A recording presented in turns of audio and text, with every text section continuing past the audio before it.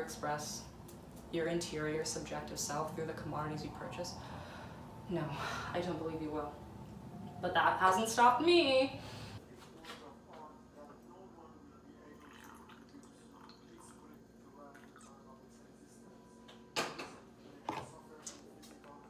Hi, welcome back to my channel. Today we'll be talking about um, talking about um, logos. I know in my last video I said I'd be doing a review of the bag that Acne Studios gives you clothes in when you buy them. But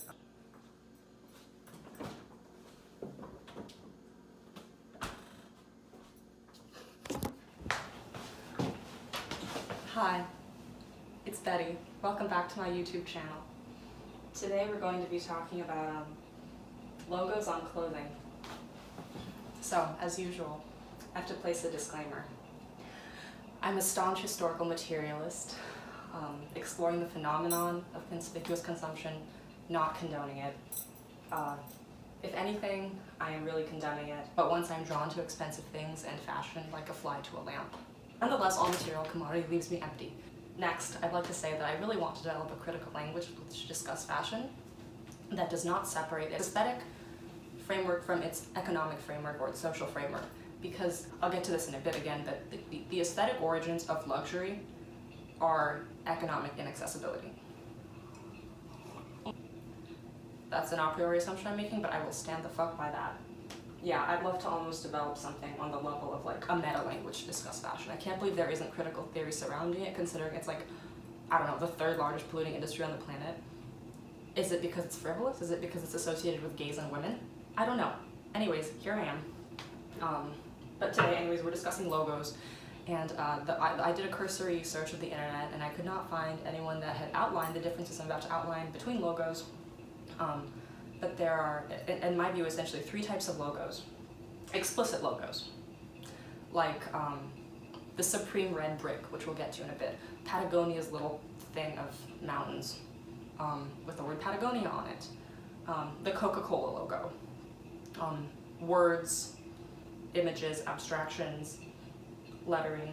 Um, it's, you know, the physical logo image. Sounds pretty straightforward. The third, uh, sorry, the second category is um, a design trademark, like a visual, formal piece of design. The design, a design of the actual element of the product being produced that is uh, trademarked, which is what will separate category two from category three. But examples of this, um, of these design trademarks include like Burberry plaid, Adidas stripes, uh, the red bottom on a Louboutin shoe. It's not like Adidas owns all stripes. They just own the rights to use them in certain ways. Um, and so on. And then, um, yeah. And finally we come to implicit logos, which are features and forms that you can't put onto a different commodity without making implicit reference to the brand that invented or most prominently used that feature or form on any piece of design or commodity. Uh, this includes uh, like a lock on a handbag, which at least for me always you know screams Hermes. A um, a slot on the toe of a shoe, which for me screams Maison Margiela. Even though the tabi boot is actually a traditional form of Japanese footwear, I ask you to Google the whole story of the Antwerp Six before you comment upon that. Um, it's interesting the story of that shoe and of the design, you know, like group culture that Martin Margiela was in. I, I'm you know, we all have a problematic fave. Another example of an implicit logo at this point is like the sneaker sock, which Balenciaga really like culturally owns, even though Rick Owens did that first. You know what Rick Owens also did first? Held a hyper-realistic sculpture of his own head long before this Gucci show. But that's a topic for another video. So three kinds of logos, explicit, design trademark, and implicit. Explicit logo is a logo, design trademark is like the Adidas three stripes, implicit logo is something like um, a lock on a handbag. What does that all mean? It asks us, I think, to really consider the implications of logos on clothing. Why do people wear them, and why do companies use them? I personally am much more interested in, because um, you know, there's been so much economic and marketing discourse on like why people, why companies use logos, the importance of logos. Like we all watched Walmart rebrand um, we've all watched Balenciaga rebrand. It's it's your public image. It's a way you maintain recognizability.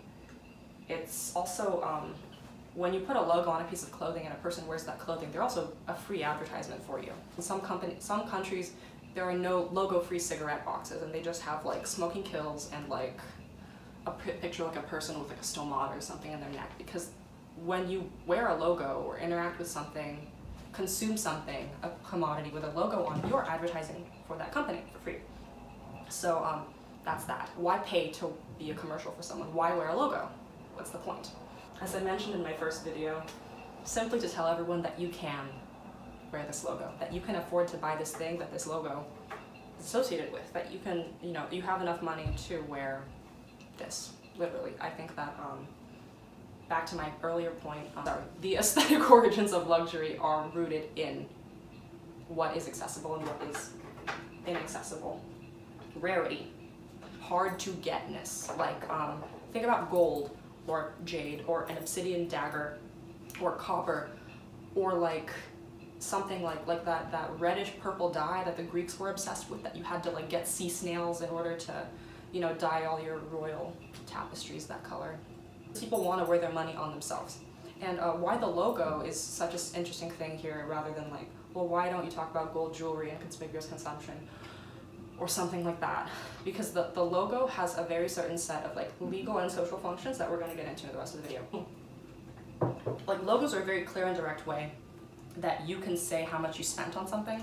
And i know that there are some exceptions to this like you know like if you're buying tactical gear or like climbing gear or like i don't know you know something really utilitarian that just has to be really good quality and can cost a lot of money and there are objects that even like blur the boundaries between are you paying for quality or logo but um you know exactly you know exactly what I'm talking about by the end of the video when I say like logos are about how much money you spent on something. The aesthetic and financial value of logos stems from the idea of rarity.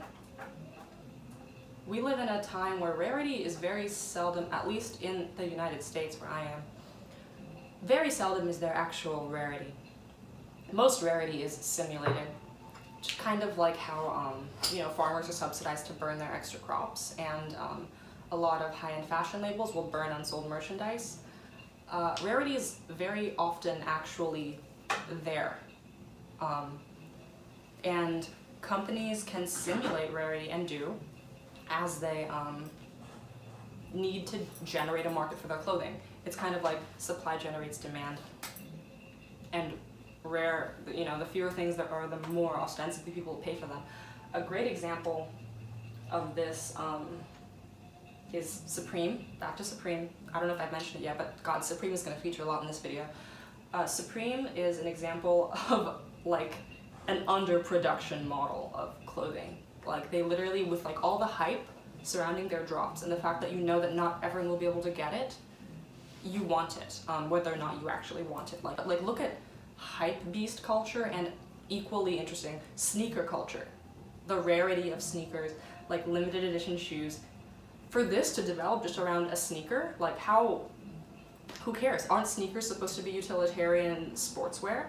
No, they're not. And logos are what generate that distinction, almost always. Um, yeah, Supreme's evil genius is the underproduction model.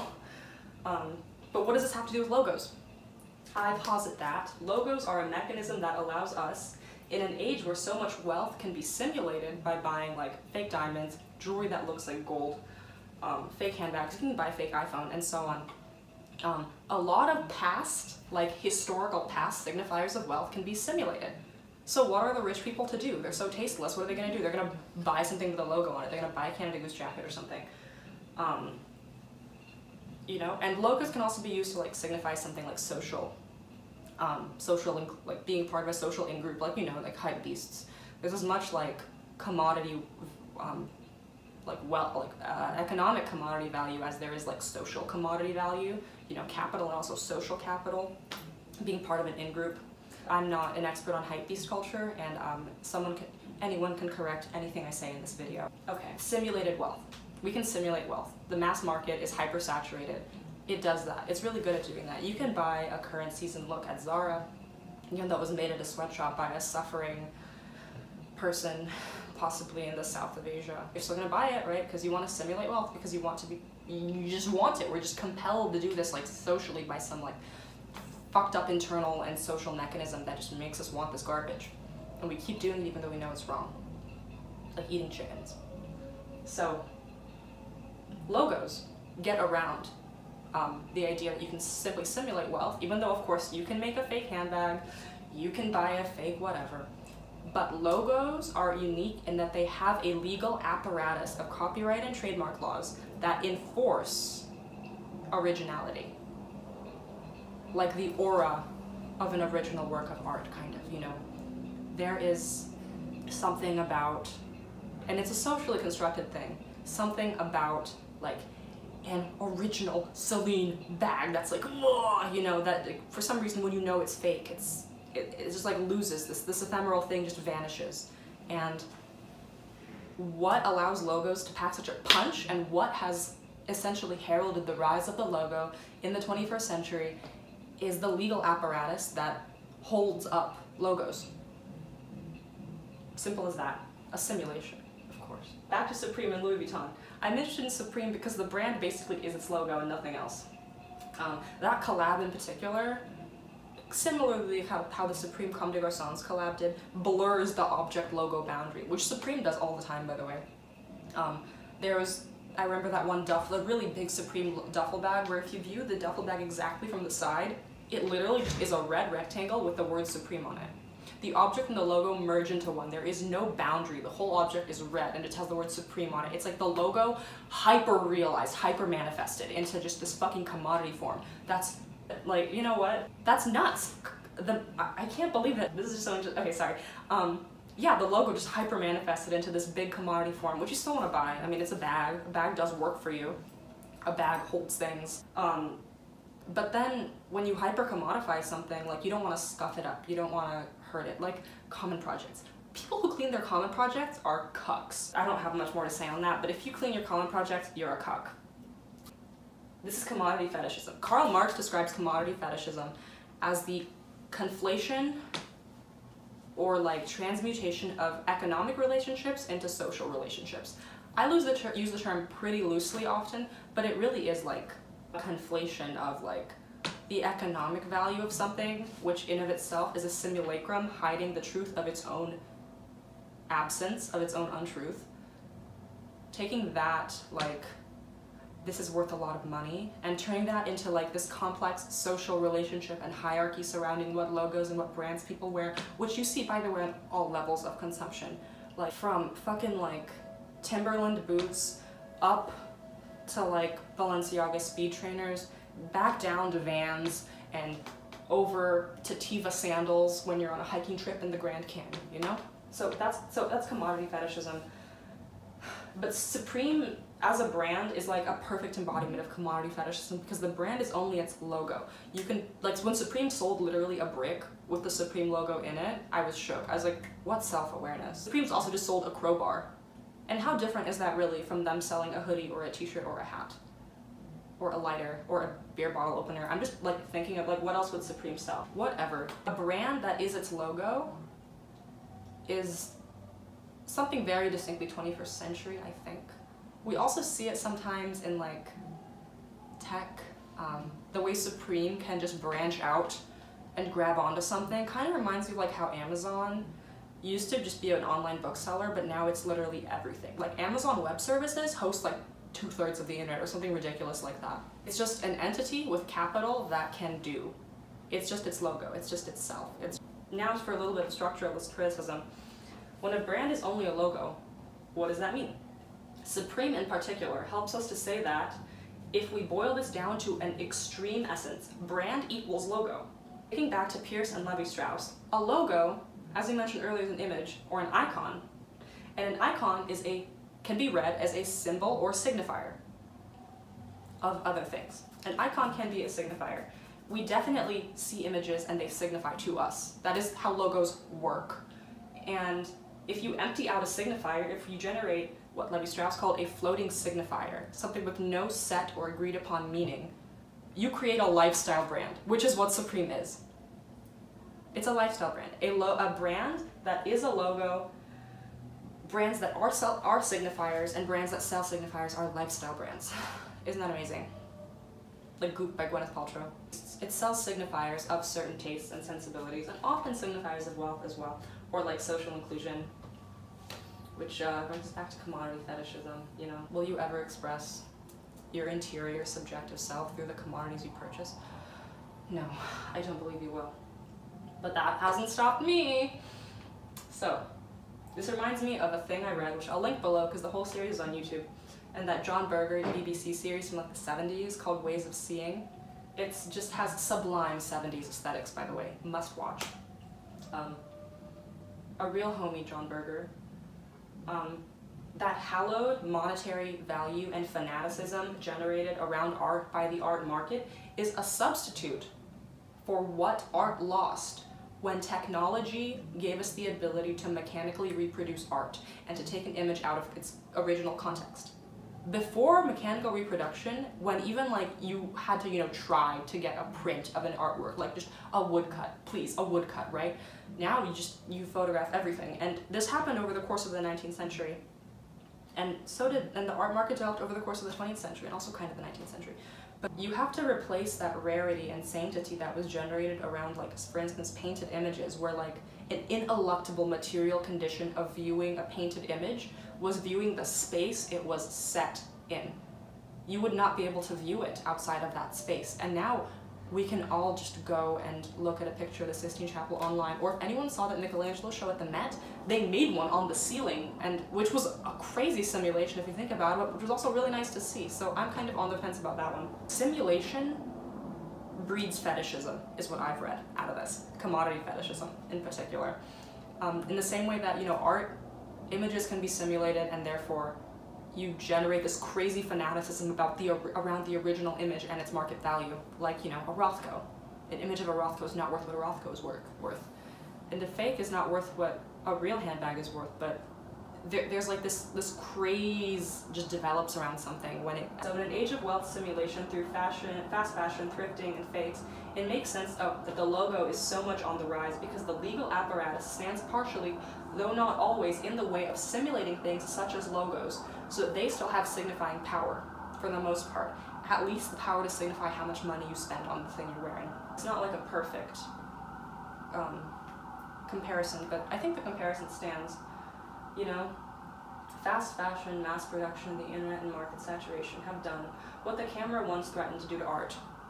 Like art, fashion survived, but it came out crippled and maimed, an empty set of signifiers, filled by us fetishists. I remember there was once a documentary on Netflix called Valentino the Last Emperor. And one of the people being interviewed said um, they call him the last emperor because since then fashion has fallen to the tradesmen. I'm sure it's a notion we can all relate to. We need to extricate and separate our self-image, our impulse to spend and consume, our personal creativity, and the social conventions that we use to visually communicate from this commodity fetishist, late capitalist model of consumption. Cowards, will you fight or will you perish like a dog? Grow up. Stop buying garbage. Anyways, thanks for watching my video. Like and subscribe below. Um, would love to hear your thoughts on this. Treat the comment section like Martin Luther treated the door that he nailed the 95 Theses to. Thanks for watching.